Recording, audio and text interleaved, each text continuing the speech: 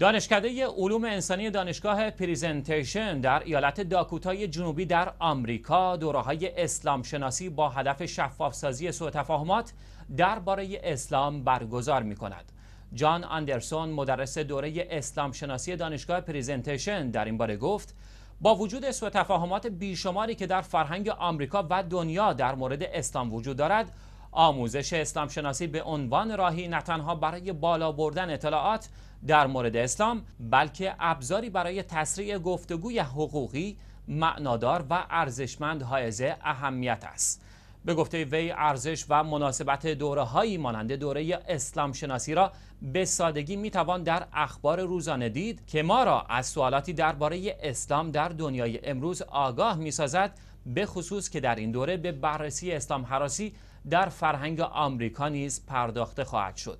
جلسات این دوره اسلام شناسی قرار است در پاییز 95 به صورت آنلاین در دسترس علاقمندان قرار گیرد.